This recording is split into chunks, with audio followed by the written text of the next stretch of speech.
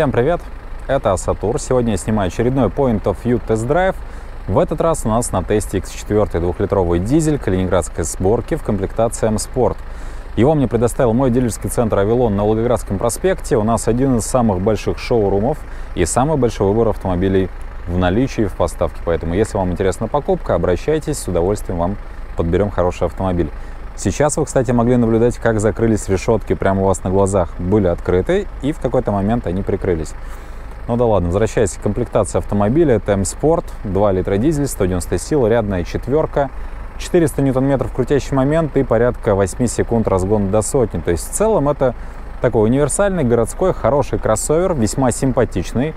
Он в цвете серебристый ледник, как уже я много раз говорил, это мой один из самых любимых вариантов окраски, хорошо подчеркивает дизайнерские элементы кузова, при этом довольно практичный, универсальный, неприхотливый с точки зрения мойки. Вот сейчас машина не самая чистая, но при этом смотрится все равно неплохо. Стоит он на 19 колесах, М-стиль, пятиконечная сдвоенная звезда, ну и довольно высокий профиль резины, размерность спереди у нас 245 на 50 R19, сзади 245 на 50 R19. То есть здесь у нас одна широкая резина, несмотря на то, что это М-пакет. Соответственно, с точки зрения эксплуатационных качеств, это, конечно, большой плюс. Это означает, что машину в колее не будет кидать, как-то носить, сносить. Но из минусов, то, что, я думаю, заметно, это довольно высокий профиль резины. С точки зрения рулежки, учитывая, что здесь у нас стандартная подвеска, ну, ожидать от этого автомобиля каких-то суперадекватных реакций, повадок, ну, наверное, не стоит. Плюс нету М-тормозных механизмов, то есть тормоза у нас стоят стандартные с серебристыми суппортами. Ну, соответственно, такая же история, как и с подвеской. Я думаю, что тормозных механизмов в этом автомобиле будет вполне хватать, но без какого-то большого запаса прочности. Ну и, наверное, самый главный ракурс этого автомобиля, вид в три четверти сзади, а, бросается в глаза однозначно очень красивая оптика, фонари шикарные, тонкие, узкие, в современном стиле, правда, без соединение между собой, иначе совсем, наверное, мне казалось, как кажется, было бы смешение дизайна всех вообще автомобилей. Сейчас от Lexus до Porsche, там Audi, Mercedes, абсолютно все делают вот такую стилистику. Но при этом полностью узнаваемый вид, Т-образные фонари, э, сдвоенный выхлоп, М-бампер достаточно агрессивной формы, темно-серая вставка такая, и она на контрасте с серебристым цветом кузова на мой взгляд, смотрится вдвойне выигрышно, потому что на темных машинах, на черных машинах сливается и уже нет такого прям вот стопроцентного попадания. Много рельефа, как на крыльях, так и вот поясная линия кузова, пороги. Действительно, автомобиль по дизайну один из самых симпатичных, на мой взгляд, на сегодняшний день. При этом X4 возрос как в реальных габаритах внутри и снаружи, так и визуальных. Он смотрится намного больше, чем предыдущий кузов, и чем-то даже, наверное, напоминает X6, особенно заметно его увеличение вот в этой задней части кузова, ну, действительно машина поднадулась. По технике это, можно сказать, то же самое X3 с небольшими поправками на нюансы подвески и интерьера. Есть у нас бесключевой доступ, доводчиков здесь не бывает. Отделка интерьера идет комбинированная. По бокам это кожаные вставки, вернаска кожа, центральные элементы это ткань.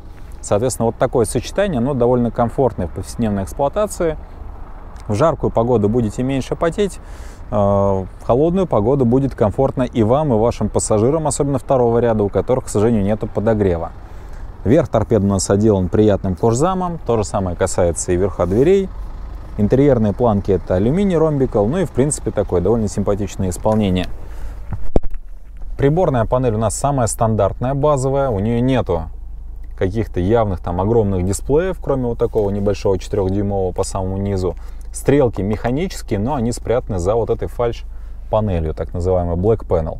Ну и экран мультимедиа-системы 6,5 дюймов, самый такой простенький, без каких-то наворотов. Радио, CD, MP3, Bluetooth, USB, стандартный функционал. Трехзонный климат, полочка с подстаканниками, блок коробки передач, черный потолок без какого-либо люка. Ну и в принципе все здесь. Никаких таких явных наворотов нет. Двойные стекла, кстати, наверное, стоит упомянуть. А так вполне хороший, повседневный, действительно удобный кроссовер для семьи, для жены, не знаю, там, для себя. То есть это автомобиль формата унисекс. Он без явной ориентации на мужскую либо на женскую аудиторию. Поэтому я думаю, что приступим к тесту. В рамках этого теста постараюсь вам ответить, насколько этот автомобиль действительно универсальный, А, интересен ли он, чем X3, интересен ли он, чем пятерка, если интересен, то чем непосредственно, как он себя ведет на ходу, какой расход топлива, ну, то есть все те вопросы, которые будут волновать вас как покупателя, потенциального покупателя этого автомобиля. Если на какие-то вопросы не отвечу, пишите обязательно в комментариях, постараюсь в своих будущих тест-драйвах это учесть и вам продемонстрировать. Приступим к нашему тест-драйву. Как и всегда, начнем с площадки, посмотрим, насколько автомобиль управляется, учитывая, что здесь стоит адаптивный спортивный руль, то есть вот у нас один оборот, чуть больше одного оборота в одну сторону – и точно так же чуть больше одного оборота в другую сторону, суммарно два оборота. За счет адаптивного руля мы по теории знаем, что автомобиль должен быть более маневренным. Вот давайте посмотрим, так ли это на самом деле. Начинаем движение.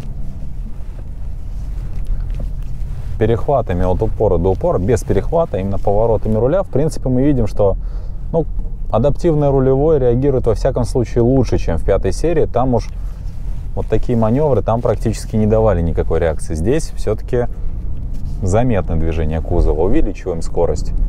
Вот. С увеличением скорости в целом, как вы видите, автомобиль уже приобретает нормальную, приличную поворачиваемость. И мне даже, ну, в целом нет необходимости перехватывать его. Вот, пожалуйста, я могу спокойно маневрировать по площадке только лишь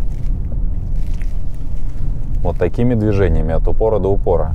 Для того, чтобы совершить какой-то более резкий маневр, конечно, можно уже немножко перехватить руль, но так или иначе это все равно добавляет вам комфорта в движении и удобства, потому что, как уже сказал, парковаться в городе как-то резко перестроиться, сделать какое-то движение, ну вот намного проще и легче, когда у вас есть адаптивный спортивный руль. Ну а теперь по традиции посмотрим, как у нас этот автомобиль относится к лежачим полицейским.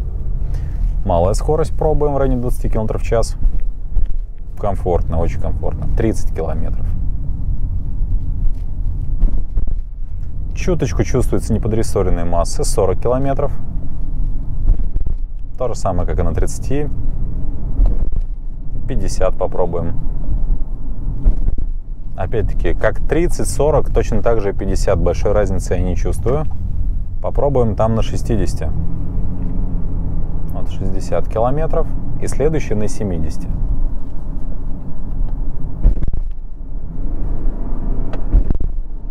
Ну, грубовато, но не могу сказать, что чрезмерно. То есть в целом вполне адекватный проезд лежачих. Ну, 30-40 это терпимый по комфорту уровень скорости для того, чтобы вдруг, если не заметили вы лежачий полицейский, вы могли его проехать с относительным комфортом для вас и ваших, ваших пассажиров плане руля, в плане его реактивного усилия, ну, возвращается неплохо на место, лучше, чем, наверное, в пятерке. Здесь действительно руль настроен лучше. Опять же, это скорее причина именно наличия здесь адаптивного спортивного руля, поскольку в пятой серии этой опции не было, там и руль такой более ватный получался. Здесь эта опция есть, и он лучше возвращается в свое исходное положение. Вот, я думаю, что это заметно.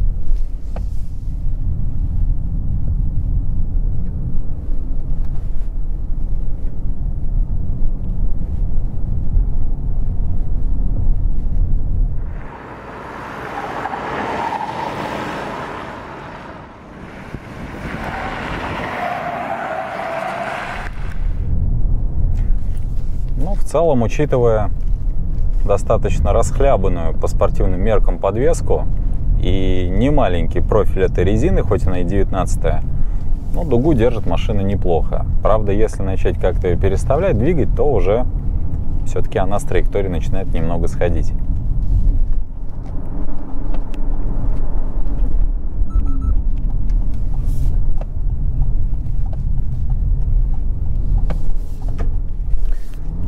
Прям очень активной езды эта машина, конечно, не любит. В плане того, что подвеска здесь все-таки слишком мягкая для того, чтобы ездить на ней быстро. Допускает слишком много кренов, уводов лишних, которых, наверное, не хотелось бы иметь на автомобиле с такой красивой и достаточно спортивной, на мой взгляд, внешностью но зато с точки зрения комфорта все хорошо. Если мы говорим опять-таки об X4 как об автомобиле повседневном, без претензий на спорт. Все-таки 2 литра дизель, ну какой еще спорт?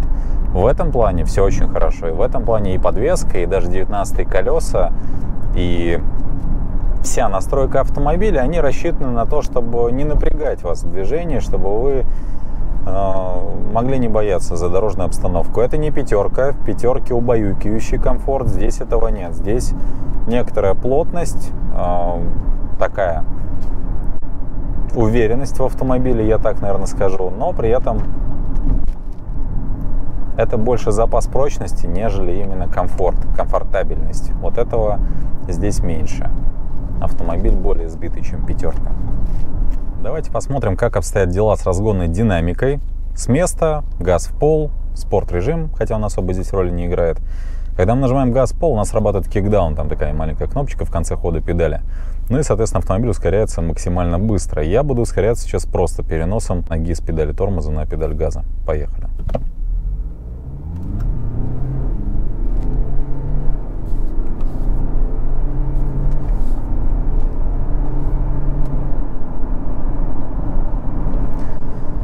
Я вам так скажу, динамика, ну, во всяком случае, не какая-то сверхъестественная. Заявлены 8 секунд до сотни, да, очень похоже на правду. То есть, с одной стороны, это неплохой разгон с места, а, но какого-то прям такого бума эмоций, ощущения, что это сверхдинамичная машина, конечно же, нет. То есть, это просто нормальный, адекватный разгон с места. Плюс вот этого дизельного движка двухлитрового заключается не столько в разгоне с места, сколько в разгоне сходу на малых скоростях. То есть, когда мы говорим про движение, к примеру, в городском потоке, и нам нужно там с какой-то малой скорости 20, 30, 40 км в час вдруг резко ускориться, вот тогда как раз открываются его главные преимущества. Он может за счет своего большого момента, 400 ньютон-метров, доступного относительно с небольших оборотов, довольно резво ускориться и дать нам вот этот импульс, необходимый для совершения маневра. Вот, допустим, мы в комфортном режиме движемся со скоростью ну, 40 км в час. Мы увидели какую-то лазейку, нажимаем газ в пол, переключается несколько передач вниз, и автомобиль достаточно уверенно начинает набирать скорость. Кстати, в плане курсовой устойчивости на 19 колесах машина немножко плывет, потому что все-таки профиль резины достаточно большой, но при этом в целом заходит в повороты достаточно уверенно. Нет какого-то явного сноса кардинального неприятного. Если переборщить со скоростью, слегка начинает плыть наружу передняя ось, но это именно если сильно переборщить со скоростью.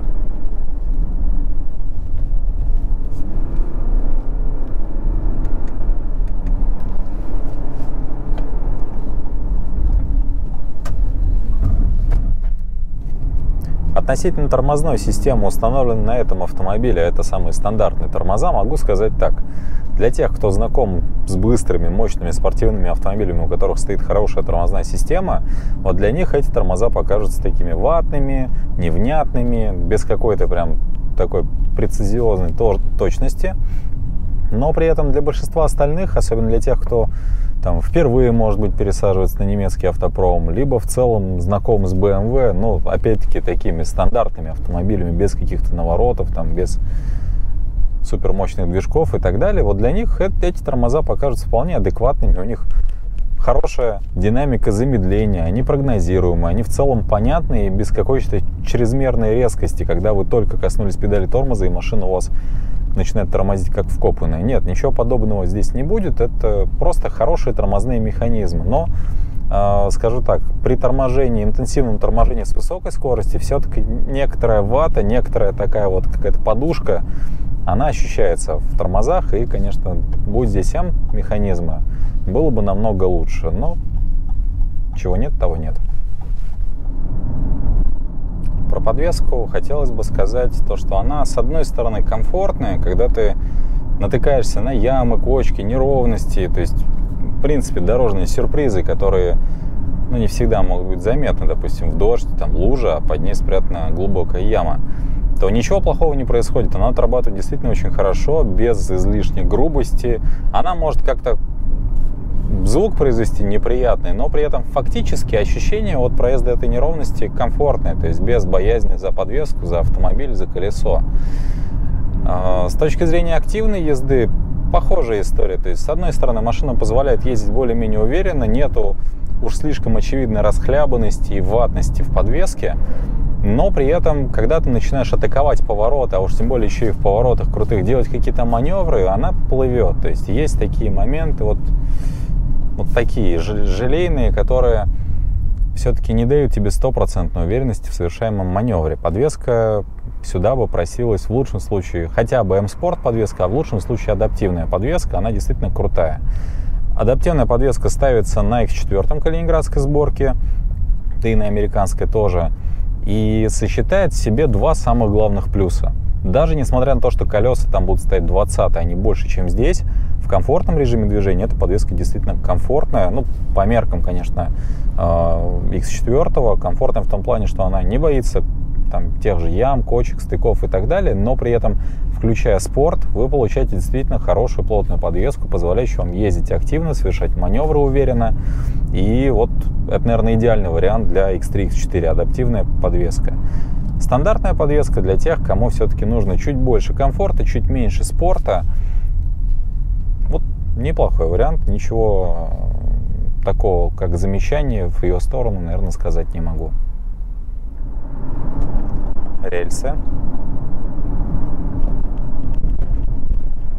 Вообще без проблем. То есть проезд препятствия такого, как рельсы, для X4 на стандартной подвеске, да и в принципе из опыта скажу, на любой другой подвеске это пустяшное задание, то есть никакой проблемы, никакого удара, дискомфорта абсолютно не вызывающий ни для вас, ни для ваших пассажиров, ни в том числе и для автомобиля. Мне нравится, как работает здесь подвеска в плане неровностей.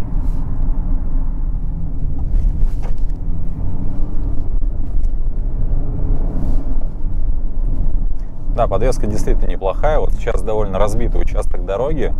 Но, во-первых, машина едет уверенно, то есть без необходимости подтормаживать. Я могу спокойно по этим ямам, кочкам проноситься и не переживать ни за колеса, ни за саму машину. Во-вторых, курсовая устойчивость тоже не страдает. То есть я спокойно могу, там, не знаю, придерживать руль одной рукой, никаких реакций там не производить и не цепляться в руль, как, я не знаю, как в последний день, потому что машина идет уверенно и с курса особо не сбивается. То есть дорожный профиль, он на руль передается минимально, без каких-то излишних уводов, отводов, там, ненужной вам информации, которая ну, в повседневном эксплуатировании, наверное, будет только мешать вам нормально, комфортно ездить. Нет, здесь в этом плане подвеска и рулевой настроены хорошо, слаженно, на мой взгляд. Ну и адаптивный спортивный руль, как и говорил, в целом приятная штука. Относительно кренов, поскольку подвеска стандартная, ну так, конечно, достаточно шаткая, то есть угол разброса именно кренов не маленький, но вполне комфортный, чтобы не вызывать у вас морскую болезнь. То есть это не японец, это все-таки немецкая подвеска, просто с определенными допусками на комфортную езду, на отработку неровности неплохую. Давайте покажу, как работает ассистент парковки. Для того, чтобы его активировать, вам нужно на малой скорости нажать кнопку парктроников. Вот она. Активируются парктроники. Далее вы проезжаете вдоль парковочных мест, и машина сканирует пространство. Вот сейчас мы проверим. Вот автомобиль сообщил, что он нашел парковочное место. Вот у нас. Далее я включаю поворотник в нужную мне сторону и нажимаю, держу кнопку вот этого парктроника. Вот я его удерживаю. Все, вот в данный момент у меня педаль тормоза утопилась. Автоматически появилась картинка с камеры заднего вида, и далее от меня требуется только отпустить тормоз, и начнется механизм парковки.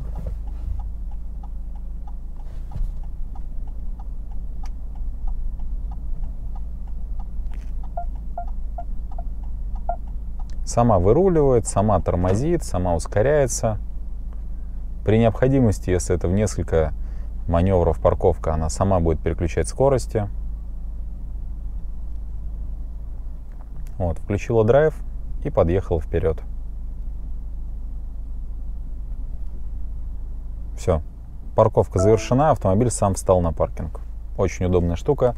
При этом вот можем по зеркалу посмотреть. При этом до бордюра, ну где-то сантиметров 20 она оставила, то есть не прям впритык к нему, чтобы диски повредить, а с небольшим, но запасом. Хорошая система.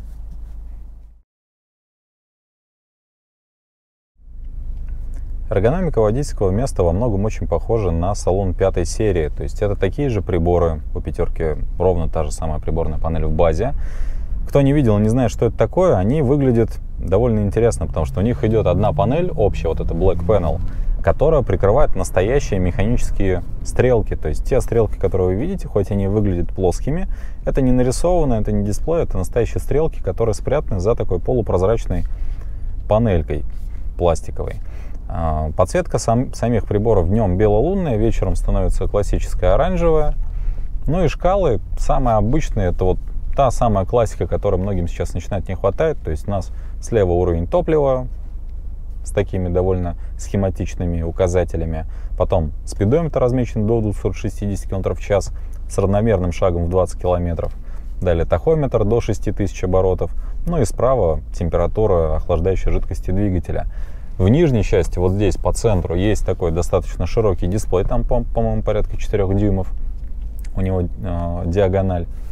И на этот дисплей выводятся подсказки о текущей температуре, времени, запасе хода. Вот здесь внизу есть индикация 252 километра. У нас сейчас запас хода на том уровне топлива, который есть в автомобиле. При перелистывании радиостанции появляются подсказки с текущими станциями, выводится информация о входящем вызове, кто вам звонит, либо отсюда же вы можете совершить вызов, а, выбрав в списке нужный вам контакт. Какие-то оповещения системы там, автодиагностики тоже все будет появляться на вот этом экранчике. Это стандартная приборная панель. Мультимедиа экран здесь уступает пятерочному, потому что пятерки даже в самой простой комплектации будет уже 8,8 дюйма. Он пошире, посимпатичнее, конечно, смотрится. На X3, X4 по какой-то неизвестной мне причине решили сэкономить, поставили экран такой же, как и был на F-сериях, там на F25, F26, X3, X4. Это у нас идет 6,5 дюймов, радио, CD, MP3, Bluetooth, USB, функционал такой самый стандартный, без каких-то наворотов. Ниже блок климата, трехзонный климат. Днем подсвечивается белым, как и приборная панель, вечером меняется подсветка на рыжую. В плане управления все очень просто и понятно. Две крутилки, есть синхронизация. Обороты можно менять, причем интенсивность даже в авторежиме у вас настраивается. Потоки воздуха отдельно слева и справа регулируются, обогревы сидений. Все, что нужно для повседневной эксплуатации здесь есть. Плюс кнопочка меню, позволяющая вам выйти в какие-то более глубокие настройки климата. К примеру, поставить стандартные настройки кондиционирования сзади, для третьей зоны, убрать либо поставить галку автоматической рециркуляции, ну и там прочие настройки выставить, к примеру, обогревы. Вот здесь можно включить, чтобы у вас автоматом активировался подогрев сидения при падении наружной температуры ниже 10 градусов, либо обогрев руля, ну и так далее. Рулевое колесо М-типа, знакомый руль, удобный, приятный, говорил уже много раз, мне он нравится, это, на мой взгляд, один из лучших М-рулей за все время. Есть подрулевые лепестки, но это не означает, что здесь спортивная коробка передач. Коробка самая обычная, восьмиступенчатый ZF, классический автомат гидротрансформаторный, австрийской сборки, один из самых надежных, плавных в работе, беспроблемных и так далее и тому подобное. Управляется при помощи пока что классической формы джойстика с длинной кнопкой разблокировки. Есть клавиша паркинга, ну и индикация отображения включенной передачи. Сам вот этот тоннель центральный, он уже отличается от пятерки. Здесь точно так же перед джойстиком коробки расположены подстаканники, есть небольшая полка. На этом месте может быть беспроводная зарядка.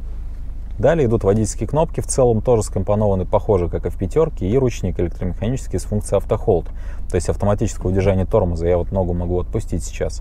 Справа джойстик управления мультимедиа системы и небольшая вставка, как интерьерная планка. Здесь у нас идет алюминий ромбикл, то есть ромбовидный дизайн. По поводу обзорности все отлично, потолок на меня не давит, он в целом на высоком уровне находится, капот я вижу, зеркала довольно крупные, стойка не слишком толстая, единственное вот эти основания, наверное, чуть-чуть э, массивные, немного, но съедает обзорности. Линия остекления, вот эта плечевая зона, она находится на не самом нижнем, но и не относительно высоком уровне, к примеру, в Jaguar FPS, мне кажется, выше. Вот эта полка идет по форме удобно, то есть руку на нее положить можно комфортно и, в принципе, ездить вот в такой позе. Подлокотник в целом тоже находится на таком уровне, что можно на него опереться, снизу подхватить руль. Единственное, что есть разница в дистанции до подлокотника. Средний подлокотник находится ко мне ближе, чем вот этот левый. Он слегка отдален от меня. В дверях большие кармашки, ниши, они вам не мешают, то есть от ноги до этой ниши много места. Важный момент, то же самое касается вот этой правой зоны центрального тоннеля, то есть при моей текущей посадке, вот удобной для повседневной езды, а, вот эта стоечка, центральный тоннель находится на довольно большом расстоянии от меня и не мешает мне в движении. Спортивные сиденья, напомню, у X3 и X4 бывает несколько вариантов сидений. Это стандартные, без регулировки коленной опоры, вперед-назад двигаются, по высоте регулируются, наклон спинки меняется и по сути все. Механика либо электро могут быть. Далее идут спортивные сиденья, как здесь. У них выдвигается вручную коленная опора, у них более ярко э, выраженная боковая поддержка и зоны бедер, и в принципе ребер. То есть хорошая поддержка. Есть поддержка зоны плеч, подголовник двигается вперед, и вот эти боковые валики, они регулируются, подкачиваются, либо спускаются. И есть еще вариант комфортных сидений. Комфортные сидения это не те сидения, которые могли быть вам знакомы по пятерке, по X5, X6, у которых ломается, регулируется отдельная верхняя часть спины. Нет, это э, такой комфортный вариант в понимании модели X3, X4. То есть чем они отличаются? У них есть выдвижная коленная опора, но правда тоже вручную. И то это не во всех версиях. Это, как правило, идет на M40i. У них есть функция вентиляции. Это один из самых, наверное, важных отличительных их моментов от спортивных сидений. То есть, если вам нужна вентиляция, кожная отделка, то вы берете комфортные сиденья. И из минусов то, что у них боковая поддержка не регулируется. То есть, к сожалению, если вы даже возьмете машину в М-пакете, но там будут комфортные сиденья, валики зажать вы не сможете. И они в целом, эти комфортные сиденья, достаточно широкие по меркам X3, X4. Поэтому, ну, мне, к примеру, при активном маневрировании на автомобиле с такими сиденьями уже не очень комфортно. Я там начинаю болтаться. В остальном претензий к эргономике водительского места у меня особых нет. Не хватает, как и всегда, поясничной подпорки. Повторюсь, если бы добавили в стандартное оснащение, это был бы приятный плюс для владельца, который, ну, в том числе на этом автомобиле может ездить в какие-то дальние поездки. Из плюсов еще торпеда отделана с кожзамом, верх торпеда, верх дверей, приятно это все в плане эксплуатации. И еще один момент, который мне нравится по отношению, к примеру, к пятой серии, это расположение памяти сидений. Здесь ну, как-то проще запомнить, где она находится. Ручка двери, центральный замок и память сидений. У пятерки эта вставка идет на кожной вот этой панели.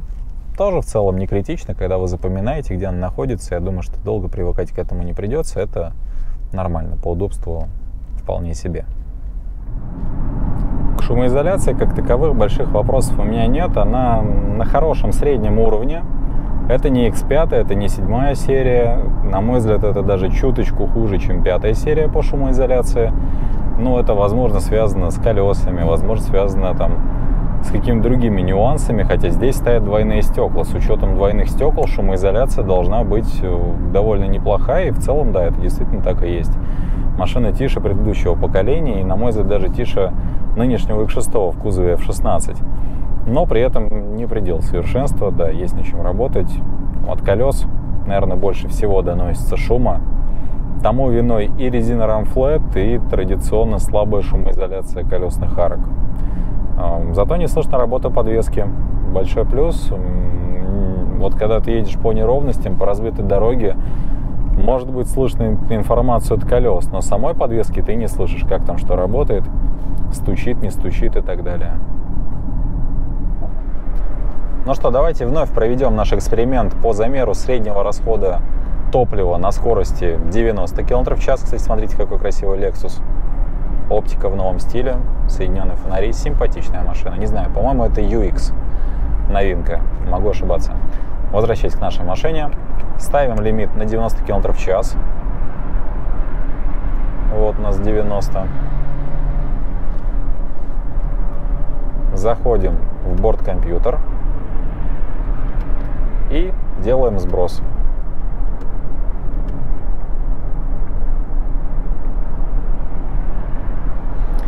Два литра дизель, 190 сил, машина весом под 2 тонны, кроссовер. Посмотрим, сколько потребляет на скорости 90 км в час.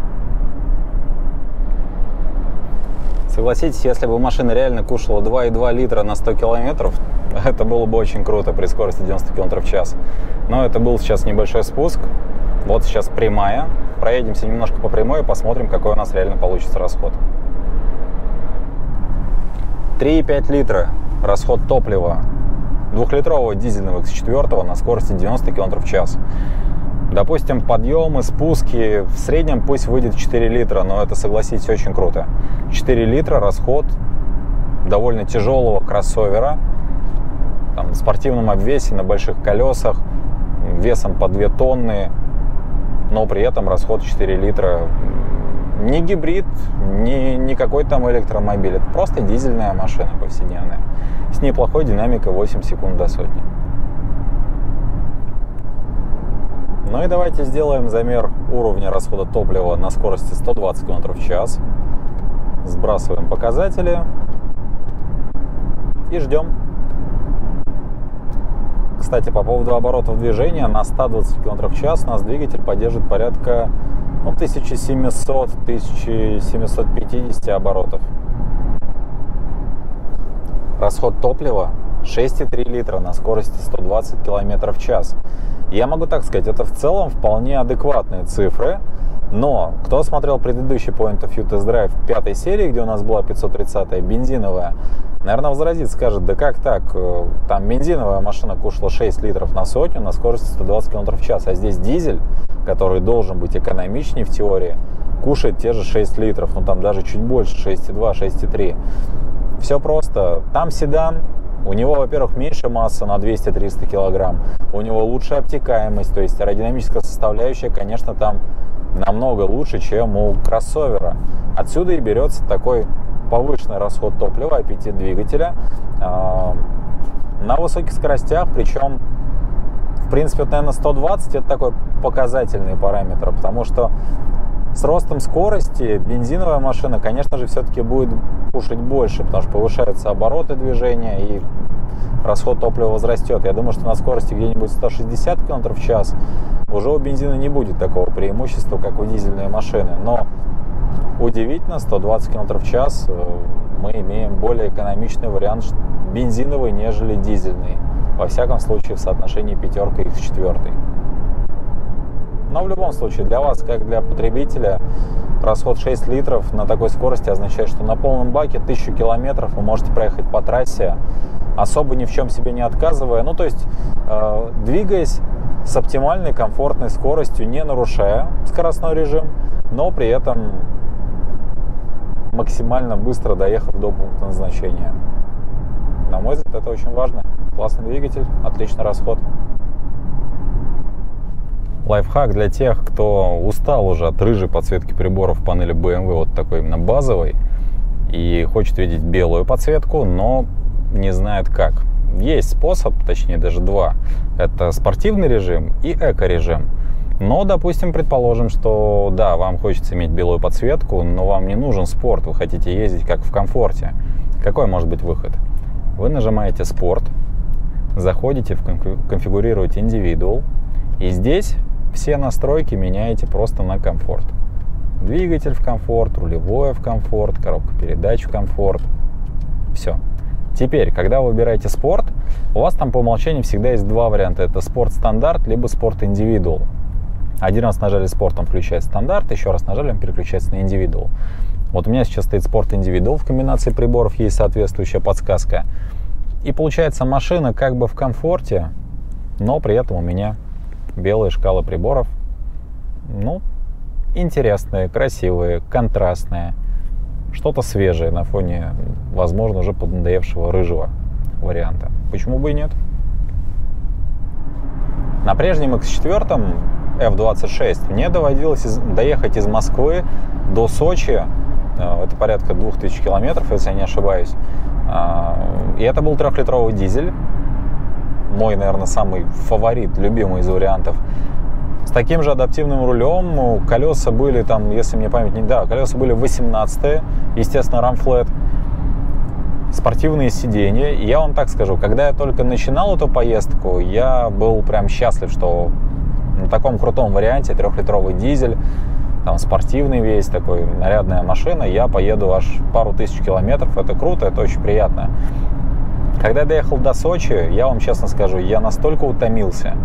И мне машина даже разонравилась. Если я до такой долгой поездки был готов на этом автомобиле там куда угодно поехать и даже, может быть, рассматривал бы его себе для покупки, то после поездки у меня мысли очень сильно смешались, и уже такой уверенности, что я бы его купил, не осталось. Потому что, во-первых, автомобиль был очень нервным. То есть, когда ты едешь по трассе на скорости за 100 км в час, тебе хочется иметь какую-то стабильность, чтобы вы, ты вот так отпустил руль, и машина едет. Ты там нажал на газ, она едет по прямой. Ты нажал на тормоз, она тормозит в этом же ряду. Ее не кидает, не швыряет никуда. Тем более, там резина была не разноширокая, что очень удивительно. Но даже на не разноширокой резине эту машину кидала в колее. Постоянно приходилось корректировать траекторию движения. То есть вот прямо она ехать не могла. Ее вот надо было ловить туда-сюда устал, честно устал. Дизельный двигатель отличный, но когда ты едешь по трассе, и он там нудит, зудит и работает относительно не тихо, а шумоизоляция там была хуже, чем здесь. От этого тоже начинаешь уставать. И даже начинаешь уставать от его резкости. Все-таки дизель, он очень резкий. Ты нажал на газ даже слегка, а он может таким толчком подорваться вперед. И вот я, я от него реально устал. То есть мне хотелось чего-то более комфортного. Когда мы приехали в Сочи, я потом пару недель, в основном, куда мы не ездили, это был второй автомобиль X1 в новом кузове, 25-й дизель, классная вообще машина, напичканная по полной проекции, панорамы и так далее, и с ценником под 4 миллиона, жесть, конечно. Ну так вот, сейчас, поездив на этом X4, уже не первый раз поездив, но закрепив свое мнение об его управляемости и курсовой устойчивости, могу вам так сказать, небо и земля. X4 в М-пакете со спортподвеской на 19 колесах, с адаптивным рулем, то есть та же короткая рейка, казалось бы, да, едет намного спокойнее. То есть на этой машине ты можешь спокойно на скорости ехать, придерживая руль одной рукой, не переживая за траекторию движения автомобиля, без каких-то практически лишних подруливаний, спокойно перестраиваясь даже в колее, как здесь, туда-сюда виляя, и тебя не будет из этой колеи норовить выкинуть, как это было раньше. Вот по трассе одно удовольствие ехать на этой машине, плюс она тише. Двухлитрового дизеля не слышно ну, практически вообще. Он работает на уровне просто бензинового двигателя. Посади сюда пассажиров каких-то незнакомых с этим автомобилем, что это за машина, какой здесь движок, они вам не скажут, что это дизель. Они будут уверены, что это обычная бензиновая машина. И это факт. Реально автомобиль очень тихий, очень уверенный, для дальних поездок вполне пригодный. Хотя, честно скажу, относительно шумоизоляции могло бы быть и лучше. Всегда есть над чем работать, какая бы она отличная ни была. Все равно по трассе шум от колес, там, от э, ветра, от прочих моментов, это все слышно. Но это лучше, чем было раньше, и это в целом хороший уровень, позволяющий передвигаться на автомобиле комфортно.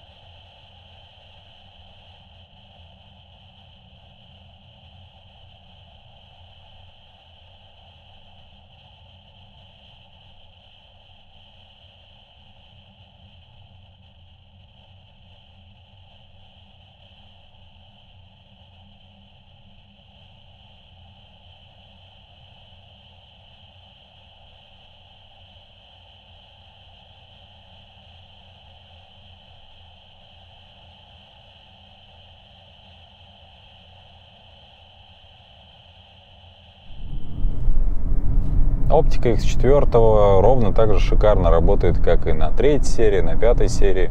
Вы видели, как она обтекает светом попутные автомобили, как она выключает свет с той стороны, где идет встречная машина, и в принципе, как она управляет потоками.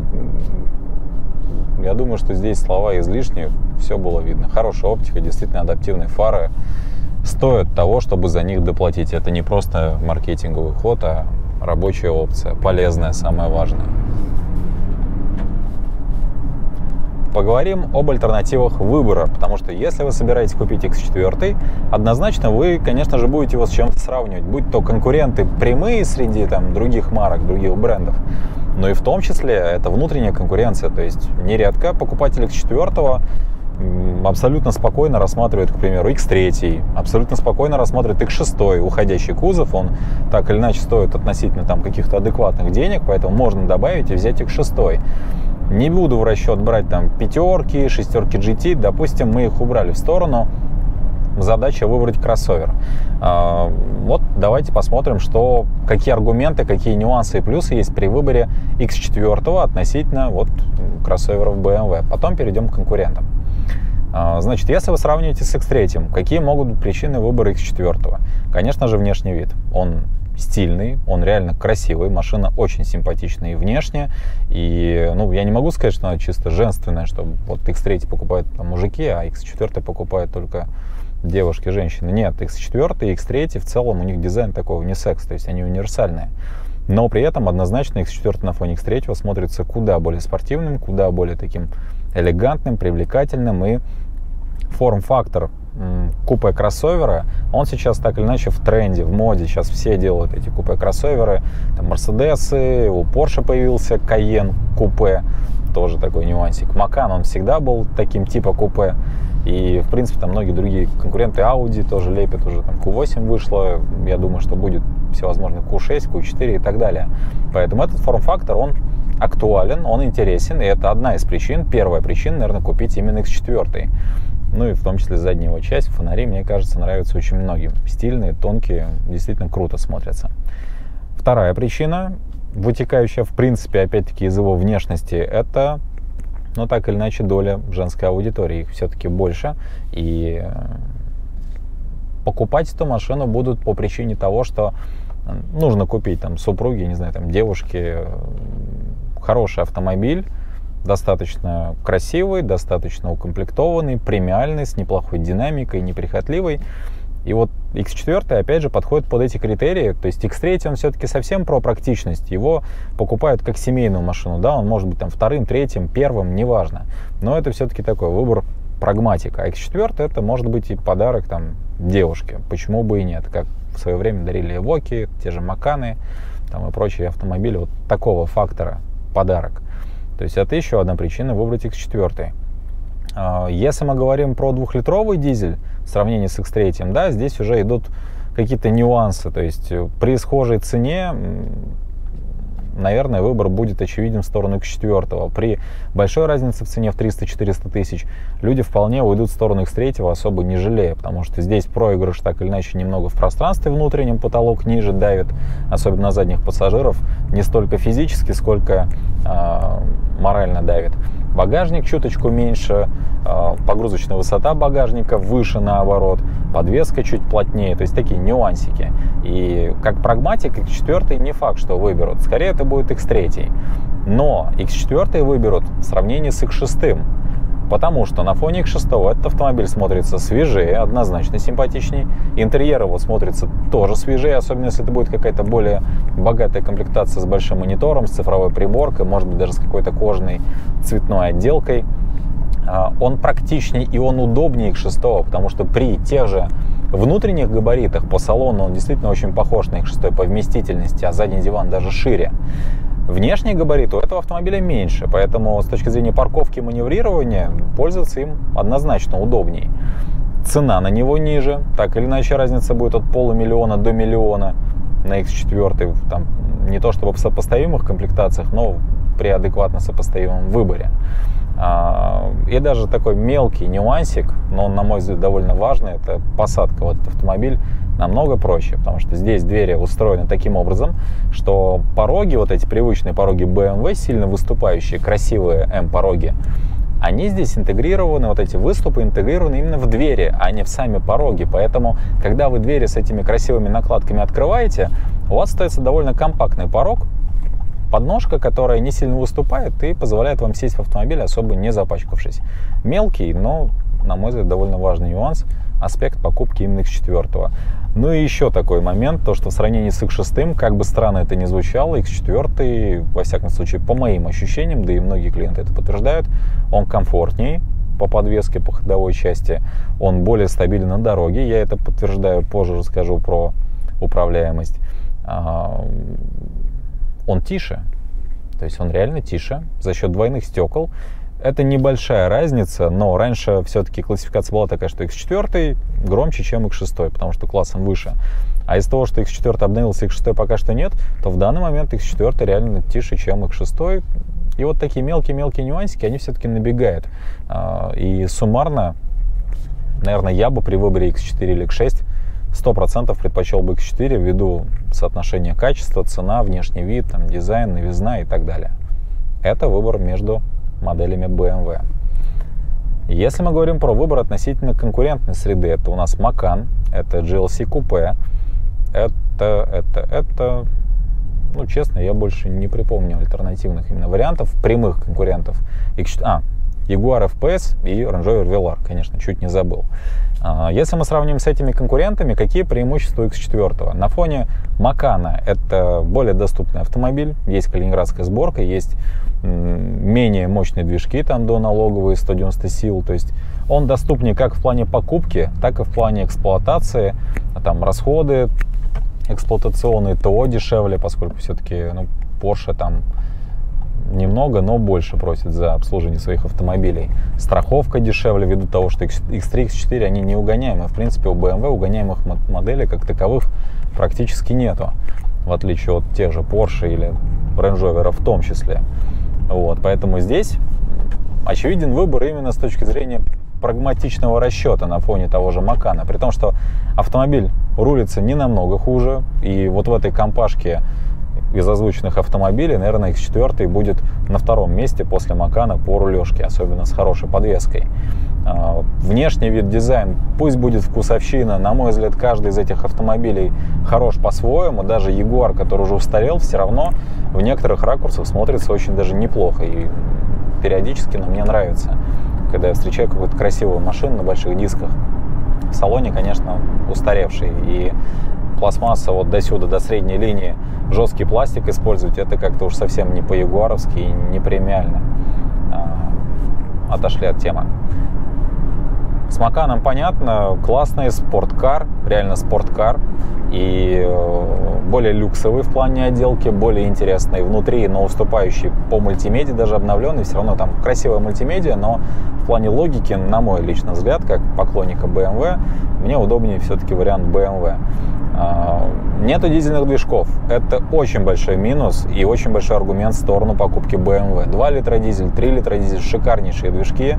Каждый хорош по-своему, поэтому уже, можно сказать, вот если вам нужен дизель, про Porsche вы забываете. Jaguar и Land Rover.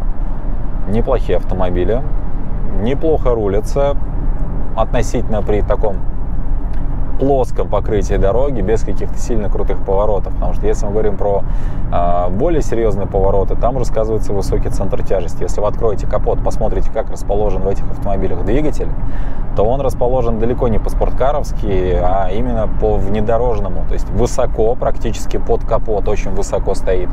И чаще всего смещен за переднюю ось автомобиля, поэтому получается нету никакой идеальной развесовки, она ближе смещена, наверное, к 55 там, на 45, а то и 60 на 40, ввиду чего автомобиль по прямой на малых скоростях при каких-то не сильно активных маневрах едет в целом неплохо и вполне приятно. Но когда речь идет о более активной манере езды, либо серпантины, крутые виражи, здесь вы разницу почувствуете. X4, конечно, пособранней, сбалансированней, приятнее будет управляться. Ну и та же история с движками. У Jaguar Land Rover, по-моему, есть еще дизельные двигатели, но в плане динамики это не ровнее абсолютно нашим движкам. У нас двухлитровый едет, как у них трехлитровый практически. Вот. Нюансы отделки, интерьера опустим. Опять-таки, на мой взгляд, это вопрос вкусовщины. Вилар очень красивый. Неудобный в плане пользования. Вот я несколько раз сидел в этом автомобиле, пробовал это все и в движении тоже. Но неудобно пользоваться этими сенсорами. Вот эти качалки болтаются тоже непремиально, на мой взгляд. Есть свои нюансы, но смотрится красиво, и многим этого достаточно. Ну и остался, конечно же, такой наиболее близкий, наиболее реальный конкурент. Это GLC Coupe. Могу так сказать опять же, несколько раз ездил на этом автомобиле с разными движками. И на двухлитровом ездил, на дизельном, по-моему, если не ошибаюсь, и на э, 43, что ли, 43 AMG версии тоже ездил. Интерьер уже устарел. Когда вышел обычный GLC, да, интерьер был симпатичный. От C-класса в целом компоновка, внешний вид действительно смотрелся неплохо. В плане удобства, да, там свои какие-то нюансы, в плане материалов тоже не все было идеально. Но вот когда вышел, было неплохо. Сейчас уже модель пережила рестайлинг, и, на мой взгляд, смотрится на фоне конкурентов и на фоне X4 проще, чем могло бы быть. Если только какие-то красивые сочетания подбирать, да, тогда уже может быть не так уж и плохо. По движкам есть выбор, какой-никакой, но все-таки есть выбор, за исключением, по-моему, трехлитрового дизеля, его там, скорее всего, нету. По подвеске грубее, даже на пневме ездил, и не могу сказать, что она очевидно как-то лучше, чем просто адаптивная подвеска в X4. Нет, вот X4 на адаптивной подвеске едет по ощущениям комфортнее, чем GLC купе на пневме. Особенно если дело доходит до плохих дорог разбитых. Рулежка, надо ли говорить, что BMW управляется лучше? В принципе, никогда Mercedes прям такой стопроцентно реальной задачей не ставил перед собой сделать автомобиль, который превзойдет BMW по управляемости. Хотя попытки такие имеются, но вот не могу сказать, что вполне удачная. Не понравилась работа коробки передач. 9-ступенчатая коробка, если не ошибаюсь. Э, то ли мне так везло на обоих автомобилях, на которых я ездил, она постоянно дергалась и пиналась при таком активном спортивном режиме езды, то ли это ну, нюанс работы этой коробки, не знаю, но коробка вообще не понравилась, как она работает, абсолютно. Внешний вид, мое мнение, более женственный. Если мы сравниваем с X4, X4, как уже сказал, унисекс, и мужчине и женщине подходит в равной степени хорошо, смотрится в меру агрессивно, в меру спортивно и стильно но без какого-то перекоса. А GLC, мое мнение, смотрится таким более женским вариантом. Но красивое сочетание, какой-нибудь бежевый салон, там дерево и внешний цвет какой-нибудь не черный. И вполне неплохая, симпатичная машина. Вот это мое мнение по поводу конкурентов. Близко к сердцу не принимайте. Это реально просто вот личное мнение, что я думаю в рамках моего знакомства с этими автомобилями. Так, каждый хорош по-своему. X4 лучше. Подводя итог данному тест-драйву X4 двухлитровый дизель калининградский в комплектации M-Sport, а, что бы я хотел выделить в качестве плюсов и минусов? Давайте начнем с минусов, так будет справедливо, они так или иначе у этой машины есть. И если уж совсем придираться, да, какие минусы я бы лично отметил именно в этой комплектации? Это, ну, с одной стороны минус, с другой стороны плюс, это подвеска. Минус в том плане, что она все-таки немного расхлябанная для BMW как таковой, как автомобиля с относительно спортивными амбициями. Но плюс то, что она очень комфортная. То есть она реально отрабатывает неровности с хорошим запасом, и ты не боишься за профиль дороги. Это самое важное. Вот когда ты едешь, неважно, хорошая, плохая дорога, яма, кочка или там какая-нибудь огромная пропасть, в которую машине придется провалиться колесом, ты не переживаешь за нее. Подвеска отрабатывает хорошо. Но, как уже сказал, не очень хорошо управляется. Также к минусам я бы, наверное, отнес шумоизоляцию. Она приличная, она достойная, но она не идеальная. То есть в любом случае над колесными арками не мешало бы поработать, чтобы оттуда доносилось меньше вот этого неприятного шуршания колес. Потому что так в целом движка не слышно. Дизель, но его не слышно. А, шумов от проезжающих автомобилей тоже минимум за счет двойных стекол. А вот колес, от колесных арок доносится слишком много информации, которая мне просто не нужна. По обзорности все отлично, поэтому если вы переживаете, будет ли вам комфортно ездить за рулем X4 ввиду некоторых нюансов по его крыше, опущенной крыше, то нет, можете не переживать, обзорность отличная, все видно хорошо, и в зеркала, и лобовое, крыша не давит, и заднее стекло в целом какую-никакую, но информацию вам полезную предоставляет. Тормозов в машине хватает, двигателя в машине в целом тоже хватает с поправкой на то, что это 190 сил. И покупая 190-сильную довольно тяжелую BMW, вы в любом случае, наверное, осознаете, что это не спортивный болид, это просто более-менее хорошая активная машина. Расход топлива адекватный. И раз уж я заговорил про расход топлива, давайте подведем итоги нашему замеру. Информация по движению и выбираем компьютер поездки. Всего я наездил 200 километров, Средняя скорость 27,5 км в час, средний расход 9,5 литров. Скажу вам так, из этих 200 километров порядка 100, наверное, это МКАД с достаточно активным режимом движения. Где-то я в спорт-режиме ездил, где-то был комфорт, местами даже был эко-режим. И около 100 километров это городской цикл, где больше было спортивного режима, а, много было комфортного и немножко совсем эко, потому что от эко в городе толку никакого. 9,5 литров Смешанный цикл до 10 в целом, как я много раз говорил, для автомобиля с двухлитровым дизельным движком это, как правило, до 10 литров вне зависимости от манеры езды. Если вы не будете уж совсем там гонять, как я, в спорт-режимах постоянно и ездить повседневно, там дом, работа, магазин и так далее, то у вас расход будет на уровне до 8 литров, даже в смешанном цикле с учетом города. По трассе 90 км в час мы видели цифру 3,5-4 литра. Это очень приятные цифры для большого кроссовера по 2 тонны массой. На скорости 120 расход уже был 6 с небольшим хвостиком. То есть в целом тоже вполне нормальные, хорошие цифры. Из всего из этого мы можем сделать вывод, что 190-сильный дизельный двигатель – это хорошая золотая середина как по налогу транспортному, так и по расходу топлива. Соответственно, э, чем больше вы ездите, тем выгоднее вам эта покупка. А, так и с точки зрения практичности на полном баке вы можете спокойно проехать по трассе 1000 километров, а то и больше, в зависимости от вашей скорости движения, и это прилично. А в городе полного бака, исходя из среднего расхода, даже если мы возьмем 9,5 литров, ну, при активной очень езде, полный бак это порядка, ну, 6, сколько у нас получается, 6, 600, 600 километров, я думаю, что так. В городе можно проехать на полном баке, а при желании даже и больше. По салону, по вместительности салона тоже нареканий нет. Мне по плечам удобно, потолок на меня не давит. Даже при моей относительно высокой посадке у меня зазор остается в районе 10 сантиметров над головой. Сзади тоже места хватает. По внутреннему простору на втором ряду автомобиль сопоставим с X3. Практически никакой разницы, за исключением того, что пассажирам ростом выше метра 80, наверное, уже немножко будет потолок давить на голову.